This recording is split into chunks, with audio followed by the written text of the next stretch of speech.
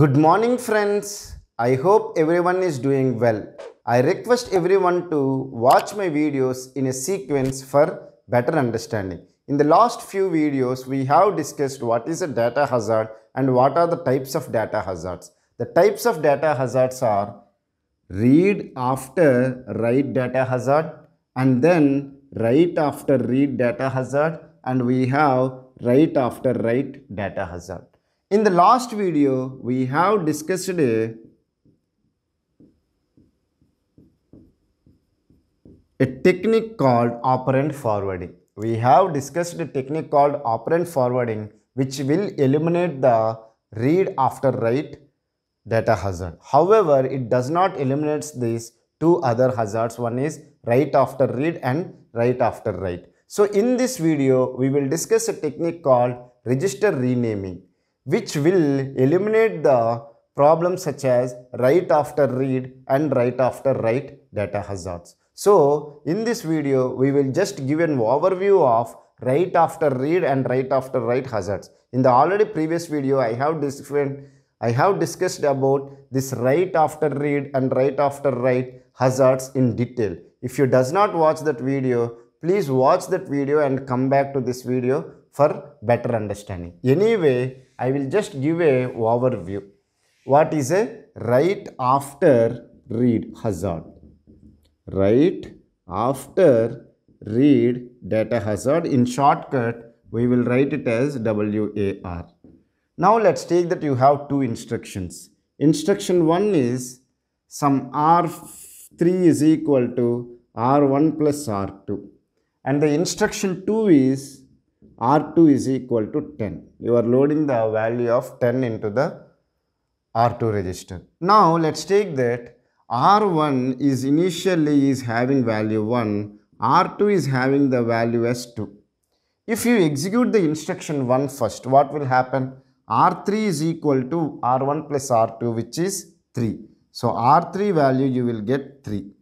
And then if you execute the instruction 2, R2 value will be updated to 10. This is okay. So you will have the 1, 10, 3 respectively in the register R1, register R2 and register R3. Okay. Now if I execute the instruction 2 first, because of instruction reshuffling, if you shuffle the instruction 2 first and then you executed the instruction 1, then what will happen?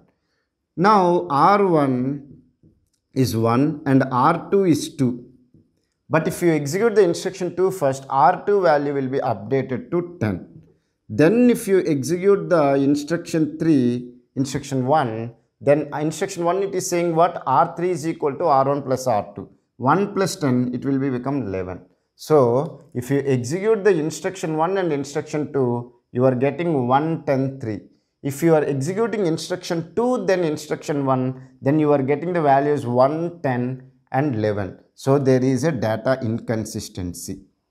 Is it clear? Are you able to understand? So this one we will call it as a write after read hazard. Okay. Then we have another problem called write after write data hazard. Okay.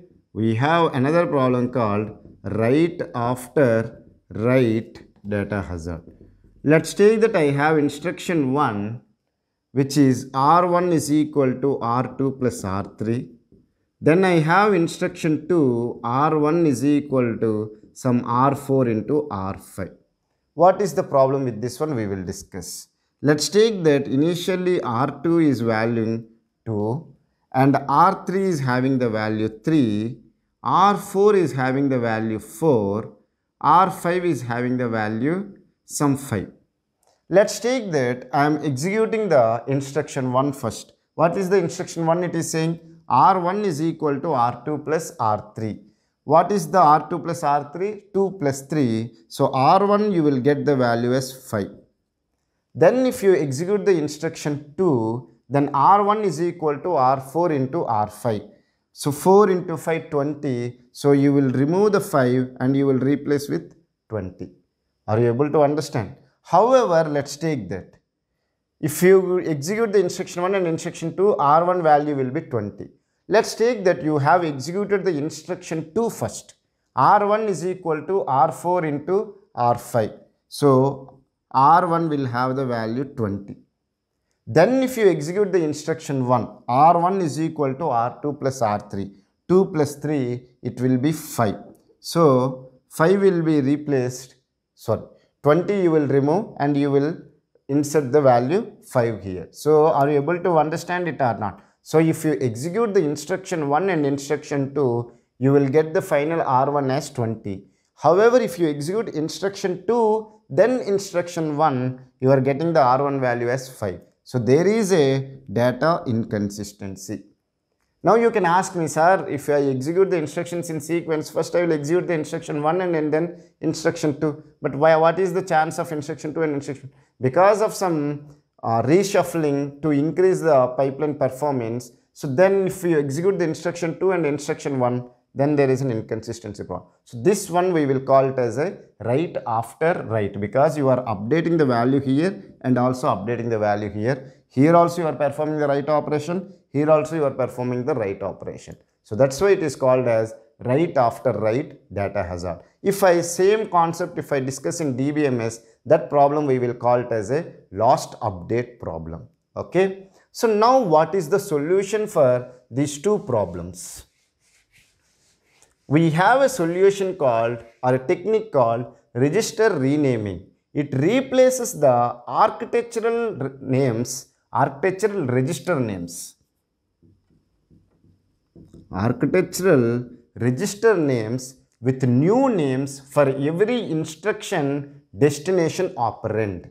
Are you able to understand? Let me repeat again. It replaces the architectural register names with new names for every instruction destination operand. Now, if you see that any instruction, we will have three parts. One is instruction mode, opcode, and then we have operands. Am I right? An instruction consists of these three parts. Instruction mode, opcode and operand. What is the use of instruction mode? It will tell which addressing mode you have to use. And then opcode will tell what operation I want to perform. And what is the use of operand? On which operands I want to perform the operation. Now, if you see the operands, we have two types of operands. One is source operand and then we have destination operand. Now let's take that. What is the source operand and what is the destination operand? Let's take that I have add R1, R2, comma R3. Now in this instruction, R2 and R3 are the source operands and R1 is the destination operand. Am I right? Why? This is equal to R1 is equal to R2 plus R3. If I write the instruction as add R1 comma R2 comma R3 which is nothing but R1 is equal to R2 plus R3. So what it has to do?